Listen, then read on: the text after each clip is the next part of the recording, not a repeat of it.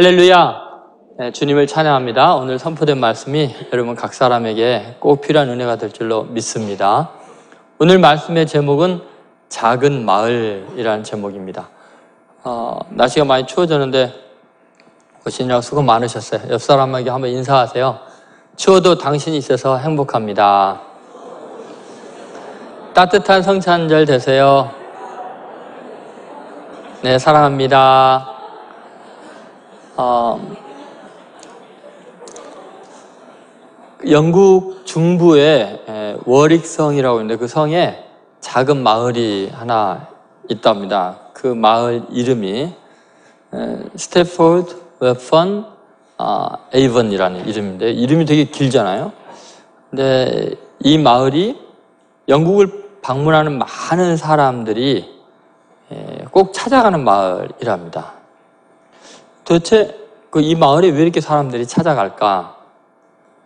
또 특히 이제 문학을 하는 사람들은요, 어, 영국 런던은 안 가더라도 여기를 꼭 아, 간다고 하네요. 왜 그럴까요, 여러분? 왜 그럴까요? 뭐 문학 하면 누가 떠오르세요? 섹스피어가 떠오르죠. 섹스피어가 태어난 마을입니다. 그리고 거기에 섹스피어의 그 흔적들이 있고 생가가 있고 집기들이 있거든요. 그러니까 어, 세계 아주 유명한 문학 하는 사람들은 전부 다 그것을 반드시 성지처럼 이렇게 찾아가게 된다고 하죠. 아, 이름도 길고 아주 외진 곳에 있는 작은 마을이지만 거기에 누가 태어나느냐에 따라서 그 마을의 가치가 완전히 달라지는 것 같습니다. 오늘 우리가 본문에 읽은 베들레헴이라는 마을, 아, 그 마을이 왜 이렇게 유명할까? 아, 지금 2000년 전에 팔레스틴 작은 마을, 이 마을이 왜 우리는 성탄절만 되면 찬양할 때 베들레헴을 부를 수밖에 없을까요? 그 이유는 뭐 인류의 구주이신 예수님이 베들레헴에 태어났기 때문이죠. 근본적인 것은. 그런데 더 궁금한 건 그거예요. 왜 하나님께서는 당신의 아들을 베들레헴에 태어나게 하셨을까? 예를 들면 예루살렘에 태어나기도 할수 있고 로마에 태어날 수도 있고 아, 뭐 세계적으로 유명한 도시들의 알렉산드리아 같은 뭐 그런 곳에 태어날 수 있잖아요. 그런데 하필이면 왜 베들레헴이었을까요? 더구나요. 어, 예수님이 베들레헴에 태어나는 것은 대단히 어려운 일이었습니다. 왜냐하면 예수님을 낳을 마리아가 사는 동네가 이 베들레헴으로부터 직선 거리는 120km 떨어져 있는 나사렛이었거든요. 지금부터 2000년 전에 교통이 불편한 곳에 만약에 요단 강을 따라서 가장 어, 가깝고 편안한 이 준비된 길로 오면은 150km를 내려와야 됐어요. 여러분 만삭이 된 여인이 어, 이제 결혼할 정혼자와 함께 언제 애가 태어날지도 모르는데 그 옛날에 150km 어느 정도 좀 감이 안 가죠. 서울 한 남단에서 대전까지의 거리예요. 그걸 걸어서 만삭이 된 여인이 찾아간다고 한번 생각해 보세요. 도대체 왜 이런 일이 일어나야 했을까요? 그것은 누가복음 2장 1절 2절 이렇게 보면요. 로마의 황제 가이사 아구스토가 아, 천하로다 호적하라는 명령을 내립니다. 로마 황제가 지배하는 그 로마 제국 안에 있는 모든 남녀는 다 고향에 가서 호적을 등록하라는 거예요. 그 이유가 뭘까요? 로마 황제 딴에는 통치를 수월하기 위해서 또 인구 조사를 위해서 그다음에 세금을 확실하게 걷어들이고 누락작 없이 다 걷어들이기 위해서 또 징집을 하기 위해서 뭐 여러 가지 로마 황제로서 제국의 번영을 위해서 또 그 권력을 위해서 그러한 요구를 했겠죠. 그 제국의 황제 앞에서 거역할 수 있는 사람이 누가 있겠습니까? 그러니까 아무리 만삭이 돼도 길거리에서 출산할 수 있는 위험이 있더라도 황제의 명령 앞에 거역을 못하고 눈물을 흘리면서 그 150km나 되는 거리를 걸어서 그 옛날에 가야 했어요. 얼마나 가난했으면 그 사관에 들어가지를 못했겠어요. 여관에 들어갈 돈이 없었어요. 그래서 아기를 남의 집 짐승의 우리에서 낳아야 될 정도로 비참했습니다. 그래서 예수님은 원래 나사렛에서 태어나실 수 있는 분인데 베들레헴에서 태어나게 된 거죠. 이 베들레헴에서 탄생할 것을 어, 예수님이 탄생하시기 700년 전에 미가 예언자가 이렇게 기록을 해놓은 거죠. 그러니까 이 예언의 말씀을 성취하기 위해서 하나님은 로마 제국의 황제를 지금 동원하고 있습니다. 근데 누가복음 2장에 보면은 로마 황제는 그 시대적인 배경을 살짝 언급하고 요 명령만 딱 내리고 영원히 성경에서 사라집니다. 마치 여러분 예전에 그 권투 시합이나 레슬링 그 시합 간데 보면은 라운드 걸 봤어요? 예, 이렇게 편말도 이렇게 걸으면서 그 지금 몇 라운드입니다. 요 정도 알려주고 내려가잖아요. 지금 로마 황제가 누가복음의 기록에 의하면 그 라운드 걸 같은 역할하고 끝납니다. 주인공은 아, 구에 누워 있는 아기 예수 요셉과 마리아의 예, 정말 애절한 사랑 이야기죠. 사실은 로마 황제가 그런 명령을 내려도요. 예수님은 베들레헴에 안 태어나고 나사렛에 태어날 수도 있었어요. 아니면 돌에 맞아 죽으실 수도 있지만 그 요셉이라는 청년이요. 자기의 정혼자인 마리아를 얼마나 사랑했는지 그녀가 자기를 배신했을지라도 사랑에 큰 상처를 입을지라도 그녀를 포기할 수가 없었어요. 진짜 사랑은 그런 것 같아요. 의로운 사람이라 거룩한 가정을 이루고 싶었는데 자기와 전혀 상관없이 자기의 약혼녀가 배가 불러올 때 그걸 종교적인 의미에서 천상 환상을 보여주든 과학적으로 무슨 설명을 하든 상식적으로든 있을 수 없는 일이에요. 자기는 알잖아요. 내 아기가 아닌 걸 알잖아요. 그러면 오히려 사랑했던 만큼 배신감을 느끼고 증오심이 일어나야 되는데 요셉은 아, 그녀를 포기하지 않고 데리고 가죠. 물론 가만히 끊고자 했는데 하나님의 천사가 나타나서 계시해 주죠. 여러분 요셉은 그 먼 여행길에 만삭이 된 이 마리아를 데리고 가야 되는 수고를 감당합니다. 왜냐하면 사랑하는 사람을 돌에 맞아 죽게 할 수는 없으니까 끝까지 사랑으로 안고 가는 거죠. 진짜 사랑이 뭔지를 보여주죠. 결국은 한 남자의 일반적인 상식을 뛰어넘는 진정한 사랑을 통해서 예수님은 나사렛에 태어나지 않고 베들레헴에 태어나는 거죠. 로마 황제의 대단한 세계적인 권력을 사용하시기도 하고 한 가난한 남자의 진실한 사랑을 사용하셔서 예수님의 예언의 말씀이 성취되도록 베들레헴에 태어나시게 돼요.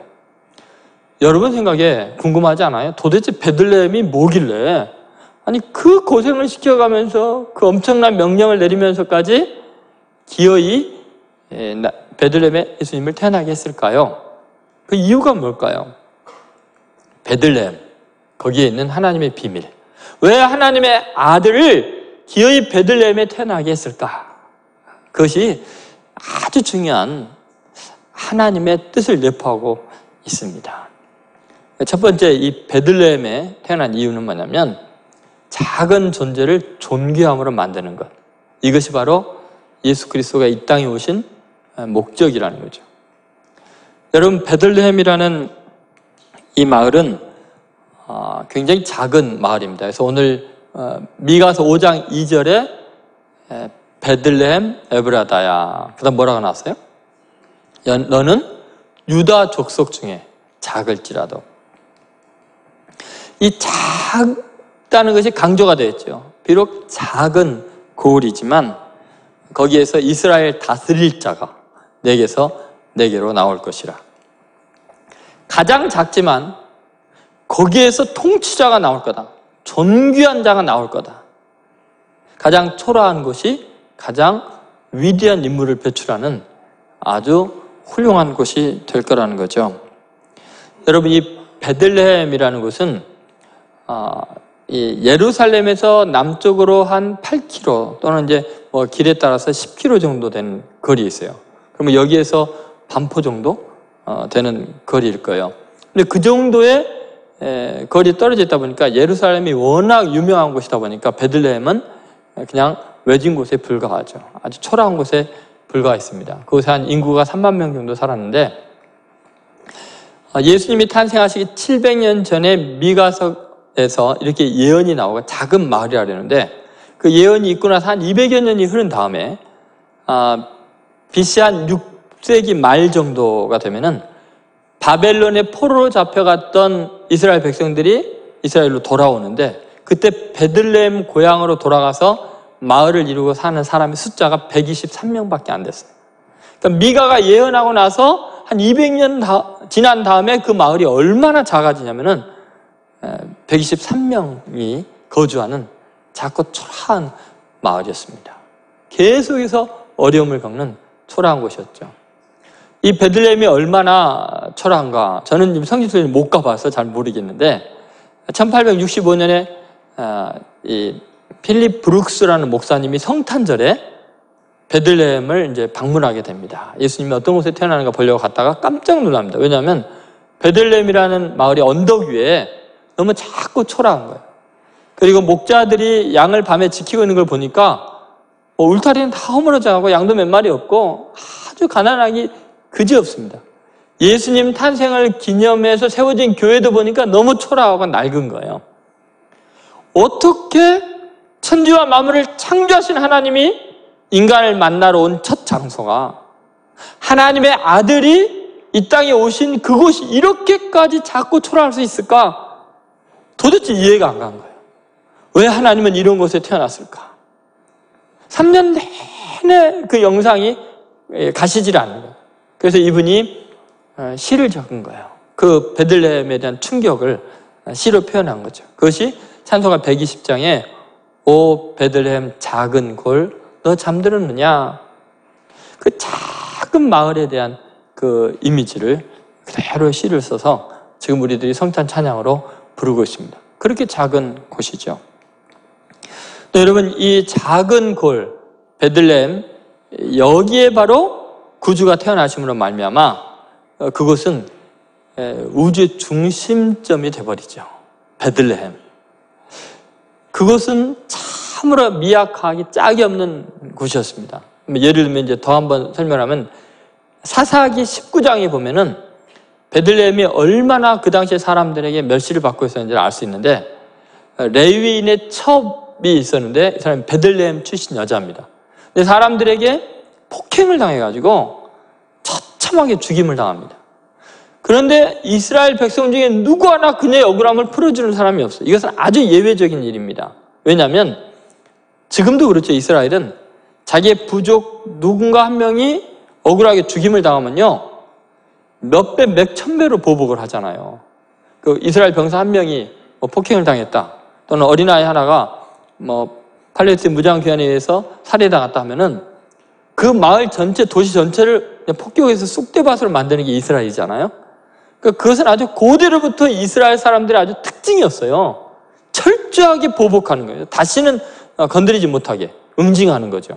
그런데 이상하게 사사기 때는 그런 일이 많았는데 이 레윈의 첩 베들레헴 여자가 폭행을 당해서 처참히 죽임당했다. 아무도 도와주지 않으니까 이 레윈이 너무 화가 나가지고 이 억울함을 갚기 위해서 이 첩의 시신을 열두 토막을 냅니다. 우리나라에 자주 일어나는 사건인데 그러다 열두 부족에게 다 나눠주죠. 그리고서 어떻게 이스라엘에 이러한 일이 있을 수 있느냐. 이제 그 토막난 시체를 보고서 열두 지파가 이제 분개해갖고 일어나서 복수하는 전쟁을 일으키게 되죠. 왜 그런 일이 있어야만 됐을까요? 베들레헴이라는 마을이 너무 작고 힘이 없다 보니까 거기 있는 사람들이 제대로 인격적인 대우를 받지 못한 거예요. 사람 취급을 못, 못 받는 가장 천한 그러니까 이스라엘 땅에서 너무너무나 비천한 사람들이 있었던 것이죠. 그런데 예수님은 바로 그 땅에 태어나신 거예요. 슬픔과 서러움이 가득한 곳. 아무도 고결하게 생각하지 않는. 그래서 완전히 버려진 인생이라고 생각하는 그 마을. 거기에서 탄생하신 거죠. 그러므로 가장 존귀한 세상에서 가장 주목받는 곳으로 바꿔놓습니다. 어느 정도까지 바꿔놓냐면요. 이 정도예요. 예를 들어서 누가복음 2장에 성탄의 음악회가 열리거든요. 만왕의 왕이신 하나님의 아들이 이 땅에 태어나는 것을 기념하는 아, 최고의 음악회가 열리는데요. 그 이맘때가 되면 그렇죠. 성탄절과 연말, 연초를 전후해서 유럽 같은 데 보면은 유럽의 왕족과 귀족들이 어마어마한 음악회를 하거든요. 여러분 유튜브나 이런 데 보면은 그 송년 음악회나 또는 그 성탄 음악회 이런 걸 보면은 그 화려한 게 상상 초월입니다. 너무 멋지고 아름답죠. 뭐 안드레아 보첼리 같은 예, 그런 사람들이 나와서 노래를 하는데 그렇게 화려할 수가 없습니다.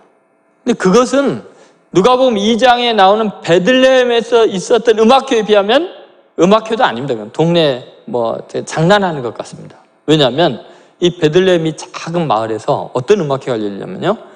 천군과 천사가 다 동원됩니다. 그 우주에 있는 모든 천군, 천사들이 다 동원이 돼서 그들이 음악회를 펼쳐요.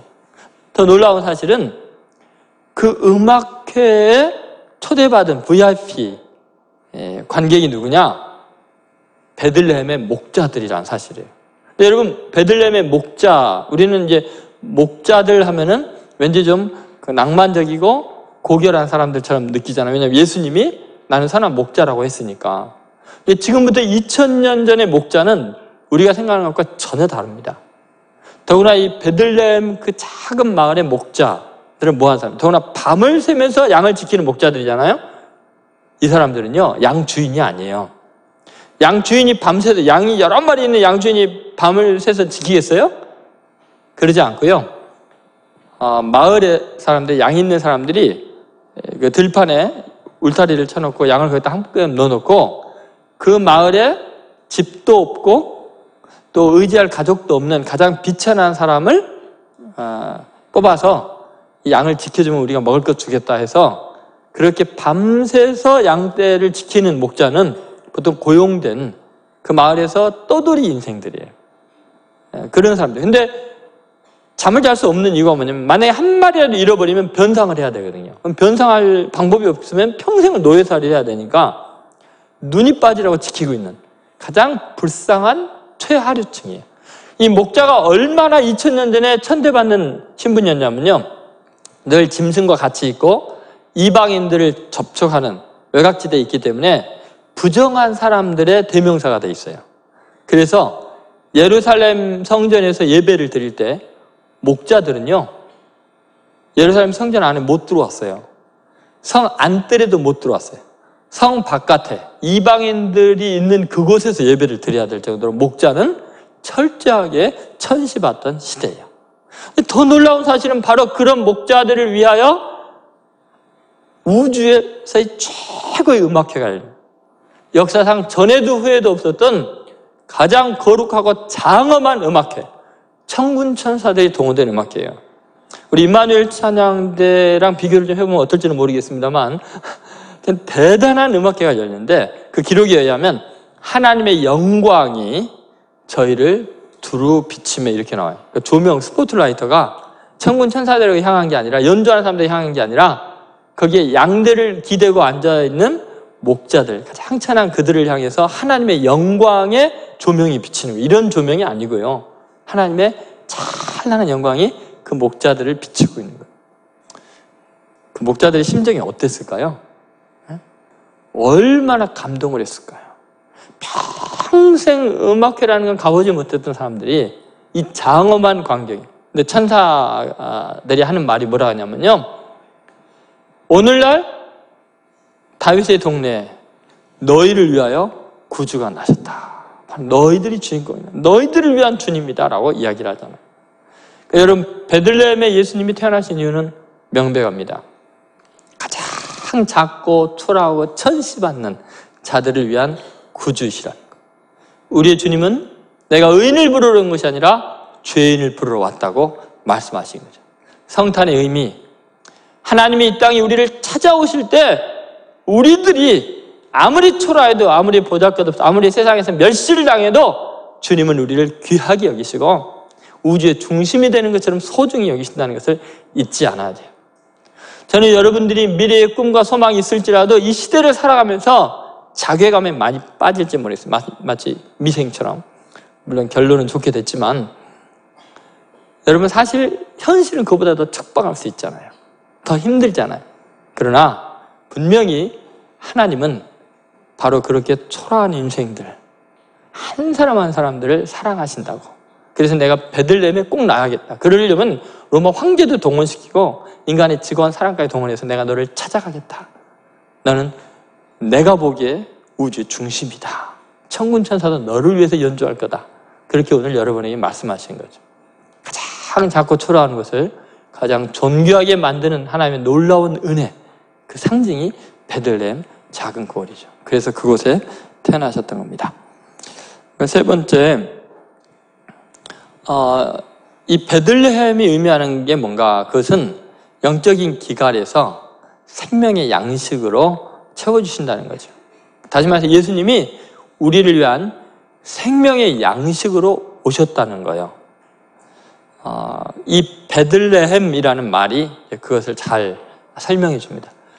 이 베들레헴이라는 단어가 어디서 나왔을까 고고학자들이 연구를 해보니까 어, 에누마 엘리시라는 창조 어, 신화가 기록되어 있는데 메소포타미아 지역에 근데 거기에 나오는 식물의 이름과 또 라흐마라는 다산 신이 있어요. 다산을 상징하는 신이 있는데 그 라흐마라는 단어가 합쳐져서 베들레헴이 됐대요.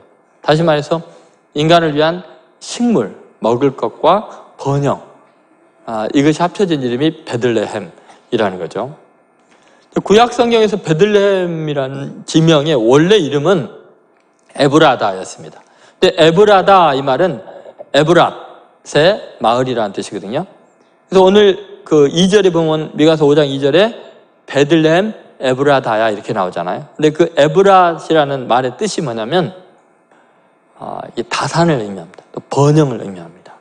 그러니까 베들레헴 이 마을은 풍요로움, 다산, 번영 이런 것을 뜻하죠. 근데 이것이 그 이제 아랍의 이름으로 아랍이 점령하고 아랍이 이 지역 이름을 부를 때는 아, 그 이름의 이름이 베이트 락햄이라고 부른다. 베이트하고 락햄. 그런데 이 베이트라는 말은 베스 또는 베이트라고 하는데 이것은 house를 말합니다. 예를 들어서 여러분이 벳엘 하면은 하나님의 엘이 하나님이고 하나님의 집이라는 거잖아요. 베이트, 베스. 아, 근데 이 어, 베이트와 락햄이 합쳐진 건데 락햄이라는 말은 어, meat, 고기라는 뜻이에요. 그리고 라햄 하면은 브레드라는 뜻이 있습니다. 결국 베들레헴이라는 말의 뜻은 뭐냐면 푸주간이라는 뜻이에요. 정육점이란 말이에요. 고깃집이란 말이고 또는 빵집, 떡집이라는 말이에요. 그러면 여러분 예수님이 왜 베들레헴에 굳이 태어나셔야 했는가? 왜 하나님은 온 지구상의 그 많은 도시 중에서 왜 하필이면 베들레헴에 예수님을 태어나게 하려고 애를 쓰신 걸까? 그 이유는 명백해요. 왜냐하면 예수님은 이 땅에 우리들을 위한 양식으로 오셨기 때문에 떡으로 오셨고 우리를 위한 고기로 오셨기 때문에 그래요. 굉장히 충격적인 이야기지만 성경이 계속해서 증거하는 바는 뭐냐면 예수님은 섬김을 받으려 온 것이 아니라 섬기려고 왔고 자기의 목숨을 많은 사람의 대성물로 주려고 왔다라고 말씀하세요. 여러분 베들레헴 그 말 자체가 빵집, 푸주간 고깃집 이 말이 얼마나 엄청나요. 여러분 예수님이 베들레헴에 태어날 때 베들레헴 어디서 태어나셨어요? 베들레헴 마을에 네, 짐승이 우리에서 태어났죠. 그죠? 그건 기적이죠. 사람이 어떻게 짐승이 우리에서 태어나요? 아무리 인심이 야박해도 밖에서 통곡을 하면서 해살의 고통 가운데 있는 여인이 있으면 잠깐 비워주면 되는데 아무도 안 비워줬거든요. 거의 기적이죠. 그거는 짐승으로 태어나는. 우리를 위한 고기로 태어나야 됐기 때문에 짐승의 우리에서 태어나는 거죠. 그리고 아, 구유에 누워 계셨잖아요. 구유는 뭐 하는 거예요? 짐승의 밥통이잖아요. 짐승 같은 죄악된 우리들의 영의 양식이 되려고 밥이 되려고 오신 거예요.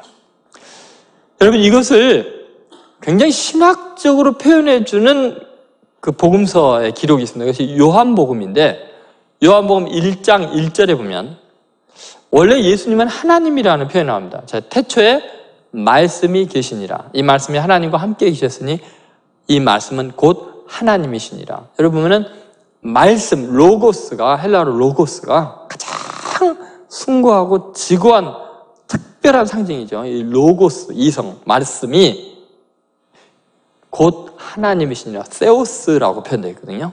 그런데 놀랍게 이 동일한 1장에서 14절에 보면은 어마어마한 이야기가 표현이 됩니다. 자, 말씀이 뭐가 됐어요? 육신이 돼요. 그러니까 로고스가 사르스가 되었다. 육신이 되었다고 표현하고 있거든요. 우리 가운데 거하시면 우리가 그의 영광을 보니 아버지의 독생자의 영광이요. 은혜와 진리가 충만하다고 했는데 여기서 이 로고스, 아까 세우스였던 하나님이었던 로고스가 뭐가 되었다고요? 육신이 되었다고 나와요. 근데 이 단어가 육신 이런 표현이죠. 몸이 되었다라는 게 아니에요. 예를 들면은 말씀이 몸이 되었다, 하나의 사람이 되었다 이렇게 표현하면은 소마라는 단어가 쓰이거든요. 헬라어로 소마 몸이라는 말이에요. 그런데 사르스라는 단어가 쓰면은 살이 되었다라는 거예요. 고기가 되었다는 말이에요. 거기에 강조점이 있는 거예요. 그러니까 예를 들어서 로마서 12장 1절, 2절 이런 데 보면은 너희 몸들을 하나님이 기뻐하신 거룩한 산 제사로 드려야 하잖아요. 그러면 그 몸들을 할 때는 한 인격, 한 인격 이런 내 몸을 말할 때, 개체로서의 몸을 말할 때는 소마로 이야기하거든요. 로마서 12장 1절, 2절에는 소마타 해갖고 몸들을 이렇게 표현하거든요. 그런데 말씀이 육신이 되었다 할 때는 로고스가 사르스가 되었다는 거예요. 고기가 되었다는 표현이 쓰인 거예요. 충격적인 이야기예요. 왜 이렇게 표현했을까요? 아니 사람이 태어났는데 고기라 그래요? 그 사람한테 야 아주 살이 통통 찐 고기가 태어났네 그래요? 아니 아기가 태어났다고 해야 되잖아요. 근데 사르스라는 표현을 한 이유가 뭐겠어요? 예수님은 우리들의 영혼을 위한 양식으로 왔다는 거예요. 고기가 되기 위해서 왔다는 거예요. 그러니까 푸죽간에 태어나는 거예요. 정육점에 태어난 거예요. 그 짐승의 우리에 태어나신 거예요. 그래서 베들레헴을 하나님이 고집하신 거예요. 왜냐하면 그 아들 이 땅에 보내셔서 우리의 굶주린 영혼을 살찌우게 하고 영생의 양식이 되기 위해서 태어난 것을 분명하게 보여준 거죠. 실제로 이것은 예수님이 당신의 입을 통해서 나중에 그대로 고백을 하시는데 여러분 요한복음 6장에 보면 오병이의 기적이 나오잖아요. 그 굶주리고 하루에 한 끼도 못 먹는 신민지의 불쌍한 사람들이 오병의 기적 일으킴을 보고 무조건 예수님을 왕으로 모시려고 그랬어요. 예수님 우리의 왕이 되십시오. 예수님이요. 왕이 되는 것을 거절하시고 도망가셔요. 바다를 건너서 도망가셨더니 사람들이 거기까지 쫓아와요. 그래서 예수님이 자신의 정체를 밝혀요. 뭐라고 밝히냐면 요한복음 6장 35절에 보면은 그런 말씀이 있습니다. 같이 읽어보겠습니다. 예수께서 이르시되 나는 생명의 떡이니 내게 오는 자는 결코 줄이지 아니할 터이요 나를 믿는 자는 영원히 목마르지 아니하리라. 여기 보니까 예수님은 자기를 뭐라 그랬어요? 생명의 떡이다라고 이야기했어요. 여러분, 나는 떡입니다. 나는 밥입니다. 그런 사람이 있어요, 세상에? 어떤 신이 그래요? 예수님은 그런 말을 하셨어요. 더 놀라운 사실은 48절, 6장 48절에 보면은 내가 고 생명의 떡이니라 그랬잖아요. 51절에 보면 이제 구체적으로 그 떡이 뭔지를 설명하는 거예요. 같이 읽어보겠습니다. 나는 하늘에서 내려온 살아있는 떡이니 사람이 이 떡을 먹으면 영생하리라. 내가 줄 떡은 그 세상의 생명을 위한 내 뭐라고요? 살인이라 했을 때 이 단어가 살이라는 말이 사르스예요, 사르스. 나는 사르스다. 너희들을 위한 내 살. 그렇게 표현한 거죠. 53절에서 55절에 보면은 예수님께서 더 구체적으로 이걸 먹고 마시는 이야기로 어, 연결시킵니다. 같이 있습니다. 예수께서 이르시되 내가 진실로 진실로 너에게 이르니 인자의 살을 먹지 아니하고 인자의 피를 마시지 아니하면 너희 속에 생명이 없느니라.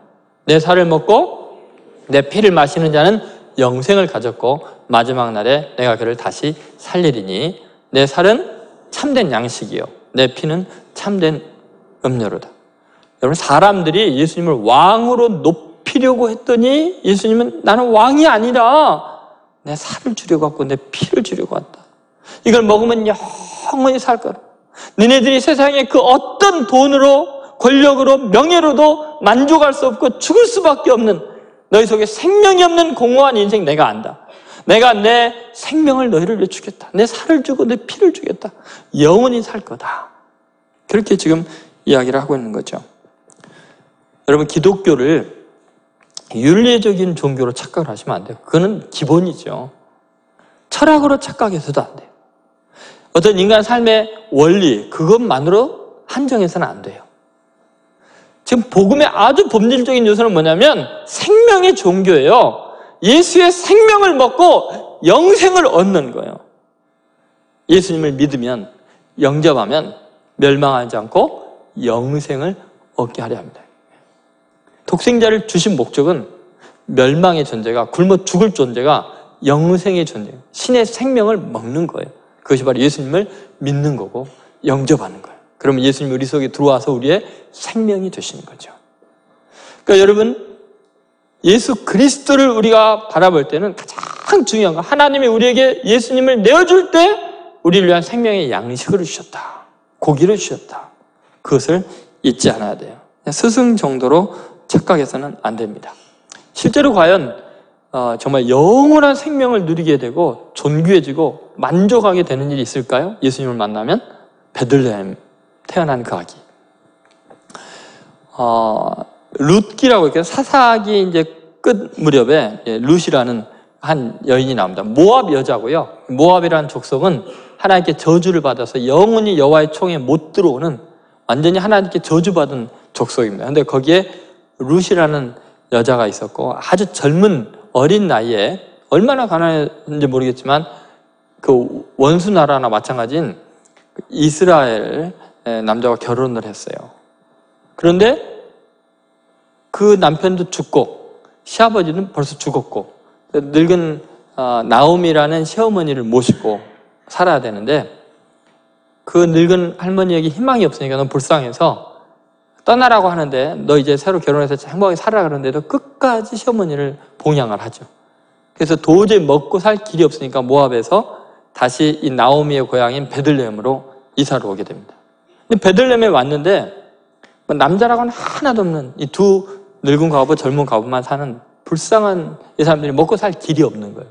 그러니까 뭐를 하냐면은 남의 밭에 가서 떨어진 그 벼이삭 같은 거 이런 걸 줍는 거예요. 그래서 주워서 그걸로 죽을 써서 뭐 간신히 이제 연명하고 살아가는 거죠. 그게 바로 베들레헴 고향에서 이루어진 일이에요. 그러다가 베들레헴의 유지인 보아스라는 남자를 거기서 만나게 되죠. 그가 많은 그 사랑을 베풀게 돼요.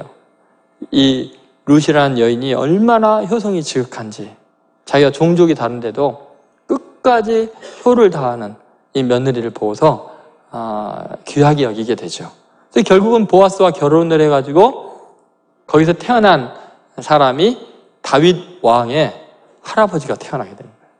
그러니까 결국은 이 룻에게서 아, 다윗 왕이 그 후손 중에 다윗 왕이 태어나게 되고 다윗의 후손 중에 메시아 예수 그리스도가 태어나게 됩니다. 이 베들렘 지역에서 그 나달 몇개 주워 먹으려고 해를 쓰는 그곳에서 이런 풍요로운 역사 정말 영원한 왕위가 이어지는 존귀한 왕족이 탄생하게 되는 거죠. 가장 미천한 인생이. 하나님은 그런 분이세요. 베들레헴이란 이 지명을 통해서 주님께서 우리에게 보여주고 싶은 게 뭐냐면 나는 너희들을 위해서라면 내 살을 내어주고 피를 내어주기를 원한다. 너희들이 살 수만 있다면 너희들의 공함을 채울 수만 있다면 너희들이 멸망하지 않고 영생을 얻을 수만 있다면 내 생명을 내어주겠다. 그래서 꼭 베들레헴을 고집한 거예요. 여러분, 이 베들레헴에 나신 주님을 한번 생각해 보세요. 하나님께서 우리를 위해서 이루신 놀라운 일들이 있는데 그 중에 가장 위대한 일이 뭘까를 한번 생각해 보세요. H. 바빙크라는 신학자가 하나님이 인간을 위해서 이루신 놀라운 일이 세 가지가 있다. 가장 위대한 일 세 가지가 있는데 첫 번째는 천지창조다. 그런 이야기를 했어요. 그렇죠? 무에서 유를 창조한 위대한 일을 하셨어요. 우리로 누리게 하셨어요. 두 번째 하신 일이 뭐냐면 성육신이다. 그랬어요. 이 성육신은 뭐예요? 하나님이 그 로고스가 뭐가 된 거예요? 사르스가 된 거예요. 고기로 오신 거예요. 그냥 사람이 되는 정도가 아니라 육을 입고 오셨다는 거예요. 고기 덩어리로 오셨다는 거예요. 세 번째는 뭐예요? 성령을 부어주십니다. 거룩한 하나님의 영이 이 속된 인간의 몸속에 들어오는 그래서 영생의 존재가 하는 존재가 되게 하는 놀라운 일을 이루신 거죠. 근데 여러분 이 중에서 가장 충격적이고 놀라운 이야기는 그 완전하신 하나님 그 전능자가 우리를 위해서 떡이 데려오시고 고기가 데려오셨다는 것. 이것은 그 어떤 종교도 상상할 수 없는 어마어마한 사랑의 역사죠. 여러분이 누군가를 위해서 그럴 수 있어요?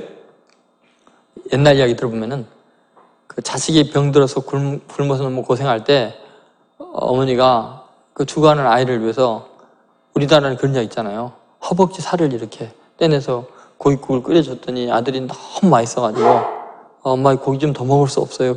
그 나머지 또 허벅지 하다가 과다출혈로 뭐 죽었다는 뭐 그런 이야기들.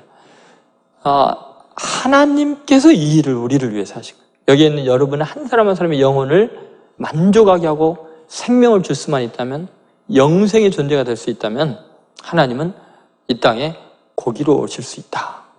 그걸 보여준 거죠. 그러므로 여러분 성탄이라는 것은 어마어마한 사건이 우리가 생각하기에 그냥 신이 인간이 되고 이런 걸 떠나서 음, 정말 여러분의 영혼을 위해서 생명의 양식이 되려고 오신 주님을 만나는 계절이죠. 그 은혜를 꼭 마음에 간직하기를 주의 이름으로 소원합니다. 세 번째는 순간적인 존재가 영생의 존재가 되는 놀라운 은혜예요. 아, 여러분 이 베들레헴이라는 마을 그 역사에 생존하기 얼마나 어렵겠어요. 그 험악한 아, 정말 고대 근동의 가장 위태로운 그 팔레스틴 지경에서 아, 사실 우리가 두려운 건 뭐냐면 건강하게 잘 살아도 100년, 기적까지 살면 120년 이러잖아요. 운동선수도 다 쇠해서 병들어서 죽고요. 그 권력, 그 경제력, 그 명예 다 썩어 없어지거든요. 다 순간적으로 없어질 존재들이에요. 그런데 놀랍게도 영원하신 분이 우리 가운데 임하게 되면 우리는 영원한 가치를 지닌 고결한 존재들로 바뀌죠. 이 미가서 5장 2절 보면은 끝부분에 그런 이야기가 나오잖아요. 어, 네 개에서 네 개로 나오는데 그 다스릴 자, 왕 같은 존귀한 자가 오는데 자, 그의 근본은 뭐요? 상고의 영혼에 있느니라. 베들레헴 출신? 가난한 그 마을에 초라하게 폭행을 당해 죽임당해도 아무도 돌보지 않는 미약한 순간적인 존재인 것 같은데 나중에 보니까 그의 근본이 어디예요? 상고에 영혼에 있느니라. 다시 말해서 베들레헴 그 땅이 영혼과 연결되는 거죠. 천지를 창조하신 그 하나님이 바로 그 베들레헴 거기에 임재함으로 말미암아 베들레헴은 영원히 잊힐 수 없는 영혼성을 지니게 되는 거예요. 베들레헴 그곳에서 왕이 나셨다고. 그곳에 구주가 나셨다고 그 베들레헴을 찬양하지 않을 수가 없는. 아무도 기억 못할 그곳이 영원히 이름 남는 곳이 되죠. 베드로, 야고보, 요한, 바울, 그 어부들, 세리, 마태, 또 창기였던 막달라 마리아, 도대체 2000년이 지난 우리가 이곳에 있는 우리가 2000년 전에 팔레스틴 지역에 있는 한 여자 이름 그 어부의 이름을 어떻게 합니까? 놀랍게 예수님이 그들과 함께하고 예수님을 영접하니까 순간적인 존재들이 영원한 가치를 지니게 되잖아요. 하늘나라도 영원히 그들의 이름이 빛나게 될 거예요. 그의 근본은 상고의 태초이니라. 여러분이 아무리 미약하고 내 인생 허무한 것 같아도요. 허무하지 않습니다. 왜냐하면 예수님을 모시면 그 근본이 상고에 영원히 있는 그분이 내 안에 계시면 영원한 존재가 되게 돼 있어요. 이것이 바로 복음의 본질적인 요소죠. 베들레헴이란 마을은 사실 너무나 누추한 곳이었어요. 그런데 사무엘상 16장 1절에 보면은 거기에 한 왕이 태어날까라는 예언이 이루어지는데 미가서가 기록되기 한 300년 전 정도에 이 소년 다윗이 살던 동네였습니다. 한번 같이 읽어보겠습니다. 여호와께서 사무엘에게 이르시되 내가 이미 사울을 버려 이스라엘의 왕이 되지 못하게 할 건을 내가 그를 위하여 언제까지 슬퍼하겠느냐? 너는 뿔에 기름을 채워 가지고 가라. 내가 너를 베들레헴 사람 이세에게로 보내리니 이는 내가 그의 아들 중에서 한 왕을 보았느니라 하시는지니라. 여러분 베들레헴 사람 이세의 집에 가라는 거예요. 사무엘 선지자를 근데 사울 왕을 패하고 새로운 왕조를 일으키는데 베들레헴 가장 작은 마을에 가고 그 중에서 이세 아들 중에 여덟 번째 아들이거든요. 다윗. 그리고 그 다윗에게 천한 일을 시킨 거죠. 목동으로 멀리 내보낸 거예요. 왕을 뽑으러 지금 왔는데 선장 왔는데 자기 아들 부르지를 않을 정도로 멸시당하는 가장 천한 존재. 그런데 하나님은 그에게서 왕을 보았느니라. 거기서 왕을 봤다는. 베들레헴에서 왕을 봤다. 그리고 영원한 다윗 왕조의 시발점이 거기서 생기게 되죠.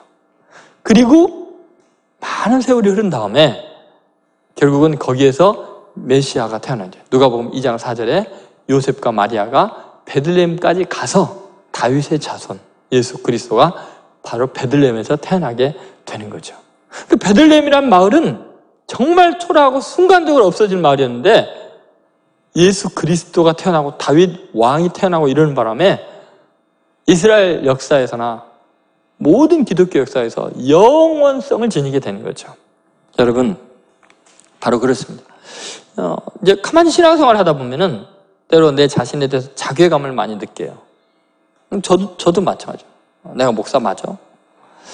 어, 내가 이 아버지로서 제대로 노릇하고 있나? 내가 정말 친구들에게는 가치 있는 존재일까? 내 자신에 대해서 계속 좌절할 때가 있어요. 나의 가치는 어디에 있을까? 순간적인 존재 아닐까? 아무리 노력하고 산다 한들 무슨 의미가 있을까? 근데 놀랍게도 나는 초라하지만 내 안에 살아계신 예수님은 영원하십니다. 그 근본이 상고에 영원에 있는 분이세요. 나의 가치를 완전히 바꾸죠. 예를 들어 어떤 유명한 목사님에게 한 성도가 찾아와서 안타깝게 이야기한 목사님, 제가 불안합니다.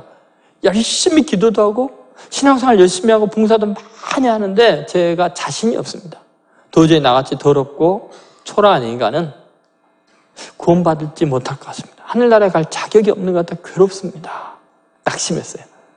그랬더니 목사님께서 옆에 있는 그 개를 불렀어요. 자기 집에서 키우는 애완용 개인데 어느 정도 큰데 그러니까 뭐 꼬리치고 오죠. 이 개를 좀 보라고. 이 개는 훈련을 얼마나 잘 받았는지 단 한 번도 집에다가 실수를 한 적이 없대요. 늘 볼일 보고 싶으면 문을 긁으면 문 열어주면 밖에다 볼일 보고 들어오고. 그리고 말썽을 하나도 피우지 않고 얼마나 심부름도 잘하고 말도 잘하고 눈치가 빠른지 자기가 피곤한 가운데 들어오면 꼬리를 치고 펄쩍 뛰면서 얼마나 환영을 하는지 피곤이 다 풀어진다는 이 개마 보면 그렇게 행복할 수가 없대요. 어쩔 때는 아내보다도 훨씬 위로가 돼서 의지가 된다는 거예요.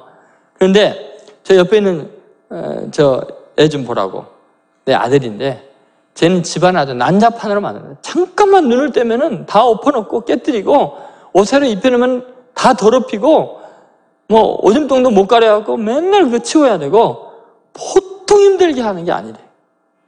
그런데 내가 이 전 재산을 그렇게 재롱 부리고 기쁨을 주는 개에게 유산으로 물려줄까요? 저 애한테 물려줄까요? 그랬다는 거예요. 여러분 어때요? 우리는 비록 너무나 미약하고 초라한 사람들이지만 하늘나라를 상속받을 사람들이에요. 하나님의 존귀한 자녀들이에요. 얼마나 사랑하면 하나님이 우리를 위해서 아, 기꺼이 제물이 되려고 오셨겠어요. 그만큼 여러분은 가치 있고 소중한 존재죠. 자, 이 베들레헴에 태어나신 그 예수님의 아주 중요한 메시지를 기억하셔야 돼요. 그 뭐냐면 진정한 왕, 진정한 구주는 가장 낮고 천한 자들, 작은 자들을 존귀하게 만드는 분이시고 가장 굶주리고 불쌍한 사람들을 위해서 자기 자신의 피, 와 살을 쏟아 부어주시고 생명의 양식이 되려고 오신 분입니다. 그분은 순간적인 존재를 영생의 존재로 거듭나게 하는 놀라운 은혜를 베푼 분이에요. 이, 런 분이 우리의 왕이에요. 근데 문제는 뭐냐면요. 종교가 타락하고 변질이 되면 세속적인 가치 전체가 함께 함몰되어서 타락하는데 반대로 하는 거예요. 가짜가 진짜 노릇하는 거예요. 그래서 작은 것보다 크고 강한 것이 우주의 중심이라고 생각하는 거죠. 하나님께 복받은 거라고 생각을 해요. 내 자신을 희생의 제물로 내어주는 게 아니라 제물 삼고 남을 이용해서 자기 살을 찌우는 것이 성공이라고 이야기를 하잖아요. 남을 무너뜨리는 것. 그의 명예를 훼손시키면서 자기가 성장하려고 하잖아요. 이것들이 잘못된 거예요. 여러분 요새는요 가짜와 진짜 구별하기가 정말 힘듭니다. 실제적으로 보면요 가짜가 다 정교하게 진짜 흉내를 내기 때문에 예, 어쩔 때는 진짜 가짜 구별하기 거의 불가능해요. 엊그저께 제가 한 집에 신방을 갔다가 요만한 조그만 행운목 그 귀퉁이에 난 것 같은 거를 하나 발견을 했어요. 그래서 어 이거 얼어 죽으려고 밖에다 이렇게 내놨어요 했더니 그거 가짜래요. 에이 가짜일 리가 여기 새순까지 이렇게 예쁘게 났는데요. 가짜 아니에요. 그리고 만져보세요. 되게 부드러운데 이거 불쌍한데 어, 밖에 얼게 놔두지 말고 따뜻한데 그냥 물에다 꽂아주시죠. 그러면 싹더날 거예요. 그 가짜라니까 목사님 왜 자꾸 그러세요? 가짜 아니라니까 만져보세요. 여기 새순도 있잖아. 가짜라고요. 그리고 와서 가위로 쏙 자르니까 플라스틱 속에 너무 황당했어요. 분명히 눈으로 아무리 보고 만지고 그랬는데 분명히 촉감도 그랬거든요. 진짜와 가짜 구별할 수가 없어요. 여러분 조화하고 생화 구별하기 요새는 아주 힘들어졌잖아요. 오히려 조화가 더 생화 같은 느낌이 드는 세상이 됐잖아요. 정말 어려워요. 예를 들어서 찰리 채플린이요. 뭐 여러분이 알다시피 그 희극 배우로서 정말 많은 사람들이 기쁨을 주지만 그의 실제적인 어렸을 때부터의 삶은 너무너무나 열악하고 고통스러운 삶을 살았는데도 그 밝은 모습으로 지내요. 근데 찰리 채플린의 트레이드 마크가 뭐예요? 나비 수염 같은 거. 그 다음에 몸빼 바지도 아니고 그 이상한 그 헐렁 바지 같은 거 입고 구두는 오른발 왼발로 바꿔 신어갖고 이렇게 반대로 돼 있고. 그죠? 그 트레이드 마크예요. 어디를 가나 너무 인기가 있다 보니까 나중에는 자유가 없는 거예요. 너무 피곤한 거예요. 달려들어 다 사인해 달리니까 쉴 수가 없어요. 그래서 어느 날 마음을 굳게 먹고 정말 외진 작은 시골 마을로 도망갔어요. 거기 가서 좀 아무도 자기를 모르는 가서 쉬려고. 마을에 딱 들어서는 순간 마을에 크게 써붙여져 있는데 찰리 채플린 어, 흉내내기 대회가 열리고 있는 거예요. 그걸 딱 보는 순간 어, 여기서도 편하긴 힘들겠다라고 보니까 자기랑 똑같이 생긴 사람들 여러 명이 걸어다니고 있는 거예요. 흉내내는 그 연습반이라고. 자기가 걸어가는데 아무도 사인해달라는 말을 안 해요. 왜냐하면 흉내내는 사람인 줄 알고 진짜 찰리 채플린인지 모르는 거죠. 거기 며칠 머무르고 있다가 장난기가 발동이 돼서 내가 저 대회 한번 나가면 어떨까? 그래가지고 그 대회 신청을 해서 나갔어요. 몇 등 했을까요? 찰리 채플린이, 찰리 채플린 흉내내기 대회 나가서 몇 등 했을까요? 3등 했대요, 3등. 이 말이 돼요? 여러분, JTBS에서, TBC인가요? 거기에서 히든싱어라는 거 하죠. 다섯 개 막 뒤에 예, 모창하는 사람들이 있고, 그리고 실제로 그 가수가 있잖아요. 여러분, 그거 봤어요? 제가 한 번 패티김 뗀거 우연히 보다가 깜짝 놀랐어요. 아니, 정말 누군지 모르겠 지만 점수를 더못 차가는 사람들이 더 높은 점수를 받는 경우가 있잖아요. 잘못하면 진짜 가수가 가짜라고 떨어질 수도 있더라고요. 되게 위험하더라고요. 어때요? 세상이 그래요. 누가 진짜인지 몰라요. 왜냐하면 가짜는 진짜인 척 흉내를 내기 위해서 온갖 수단을 다 동원하니까 어려워요, 어려워. 근데 여러분 왜 베들레헴에 태어나셨냐? 가짜가 흉내 못 내게 하려고. 왜냐하면 가짜는 세속적인 가치를 지니는 반대로 나오거든요. 생각해 보세요. 이 시대에 구주라고 하고 자기가 재림 예수라고 하는 많은 사람들 보세요. 완전히 베들레헴과 반대입니다. 베들레헴이 임하는 게 아니에요. 작은 사람들. 소중하고 존귀하게 여기지를 못하고요. 신앙이라는 명목으로 온갖 것들 희생을 강요합니다. 생각해 보세요. 십자가 위에 주님께서 살과 피를 쏟으시면서 우리에게 영생을 주셨어요. 자기의 살을, 자기의 피를 우리의 양, 영의 양식으로 내주셨어요. 그런데 가짜 재림주라고 하는 것들은 피 한 방울 흘리지 않고 눈물 한 번 흘리지 않고 나를 위한 어떤 고난도 행하지 않냐고 자기가 재림 예수라고 뻔뻔스럽게 주님이 십자가의 고난으로 구원한 영혼들을 도적질해 가면서도 그것이 얼마나 악한 짓인지 모르는 거예요. 지가 피 흘렸어요? 지가 십자가에 죽었어요? 감히 어떻게 자기가 재림 예수란 말을 나와요? 성경에 보면은 재림할 예수님은 음, 일찍 죽임을 당한 어린 양과 같다 그랬어요. 철장으로 질그릇 부수는 권세가 있지만 손에 못자국, 발에 못 자국이 있는 마치 도마에게 나타나서 내 손, 내 옆구리를 이 손으로 넣어보고 나인 줄로 믿으라 그랬잖아요. 재림 예수들이 그래요. 어떻게 예수 그리스도께서 살과 피로 이 땅에 임하셨는데 아무것도 하지 않는 숭배만 받으려 하는 그 거짓 그 사탄의 앞잡이들이 자기가 재림 예수라고 하냐는 거예요. 있을 수 없는 일이에요. 영생을 주는 게 아니라 파멸로 몰아가는 일이죠. 저는 성탄의 계절에 이런 가치관이 되게 중요하다고 생각합니다. 이 민족이 교회와 함께 병들어 가고 있어요. 여러분 생각해 보세요. 정말 십자가의 정신이 어디 있냐고. 가난하고 어려운 사람들을 존귀하게 만드는 역사. 그들 위해서 희생의 제물이 되는 일들. 지난 화요일 날 저희 교회 청년들과 또 장로님들 권사님과 함께 홍은동의 산 중턱에 갔어요. 지난번에 광고한 대로 연탄 1800장을 가지고 1800장이 그렇게 많은 줄은 몰랐어요. 그 가장 날씨가 추웠잖아요. 귀가 다 빨개져 가지고 아, 연탄을 예, 낑낑거리면서 산 중턱까지 올라가죠. 미끄러지니까 연탄재를 거기다가 아, 다 뿌려가지고 아, 저렇게 날랐어요. 저도 어렸을 때 연탄을 피우면서 자라서 몇 번 연탄가스를 너무 심하게 마셔가지고 지금 머리가 좀 이상해졌지만 그 옛날 추억도 떠올랐어요. 그리고 마음이 너무너무 행복했어요. 누군가를 섬기고 작은 곳을, 초라한 곳을 존귀하게 만드는 것 참 행복한 일이라는 생각을 했습니다. 어제는 또 아까 광고했듯이 그 선물 상자를 가지고 아, 외국인 유학생들, 그 다음에 미혼 맘들에게 나눠주면 사랑을 주고 오늘도 돕고 노인들에게 찾아갈 거예요. 저희 교회는 1년에 한세번 정도 아주 멋진 문화 공연을 합니다. 그 이유가 뭔지 아세요? 길을 쓰고 힘들어도 욕을 먹어도 하는 이유가 있어요. 이 신촌 지역에는요, 평생 한 번 오페라 구경 못한 사람들 너무 많습니다. 시장에서 장사하시면서 길가다에서 노점상 하면서 뭐 예술이니 음악이니 이런 것이 문제가 아니라 생존이 힘든 사람들이 있어요. 그런 분들에게 최고급 문화를 쉽게 느끼게 교회에서 무료로 공연해주고 그리고 그분들이 그걸 통해서 하나님의 사랑을 경험하게 하는 것. 마치 성탄 때 베들렘에 천군 천사를 동원해서 음악회를 하신 하나님의 마음처럼 여러분 지금 이 사회가 얼마나 병들었나 보세요.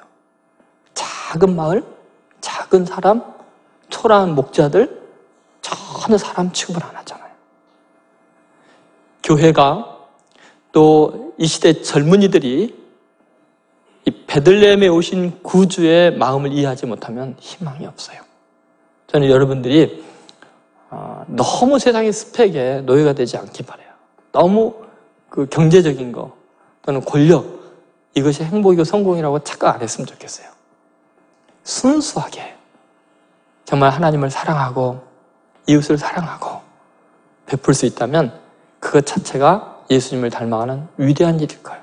굳이 굳이 베들렘에 탄생하셨던 이유를 오늘 여러분의 마음속에 간직하고 여러분 주위에 있는 약하고 힘든 사람들을 격려하고 섬기는 귀한 성탄절 되시기를 주의 이름으로 축원드립니다. 기도하겠습니다. 오늘 말씀을 생각하며 여러분 하나님 앞에 결단의 기도하시기 바랍니다.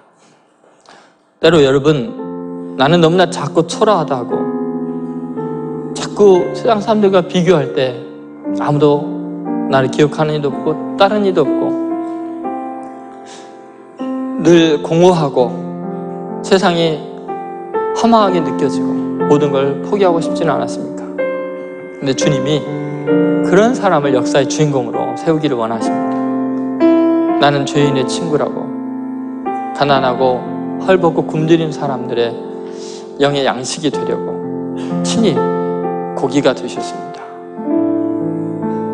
여러분의 삶은 주님과 함께 있는 한 영원한 가치가 있습니다. 다시 주님께 돌아가십시오. 나의 진정한 왕이 누구인가를 생각하십시오. 여러분에게 영원한 생명을 주려고 자신의 목숨을 희생하신 그분 한 분 외에는 그 어떤 누구도 여러분의 왕이 될 수 없습니다. 여러분의 구주가 될 수 없습니다. 예수님 그분만이 여러분의 구주이십니다. 주님 베들레헴에 오신 주님 내 마음에도 오셔서 저에게 영원한 생명이 되시고 위로자가 되시고 그동안 헛된 것을 따르고 세상의 가치관에 스스로 상처투성이었던 죄를 용서해 주시고 다시 한번 주님을 찬양하며 승리하게 하여 주옵소서. 같이 한번 통성으로 기도하겠습니다. 아버지 하나님, 오늘 선포된 이 말씀을 통해서 정말 주의 복음의 진리가 드러나게 하여 주시고 다시 한번 제자를 찾게 하시고 주님을 만나는 기쁨을 허락하여 주옵소서. 아버지 하나님, 성령님 이 시간에 역사하시고 감동하셔서 거짓된 것들이 물러나게 하시고 이곳에 하나님의 진리가 하나님의 생명이 구원의 역사가 일어나 지금은 생명의 떡으로 오신 예수 그리스도의 은혜와 독생자를 희생하면서까지 사랑하신 하나님 아버지의 극진하신 사랑과 성령의 감동, 감화, 교통하심이 남은 생애 동안 생명의 떡이신 주님을 영접하고 이 놀라운 구원의 복음을 증거하며 낮고 천한 자들을 존귀한 자들로 섬기겠노라고 결단하는 하나님의 아들, 딸들 머리 위에 지금으로부터 영원히 함께 하시기를 간절히 축원하옵나이다. 아멘.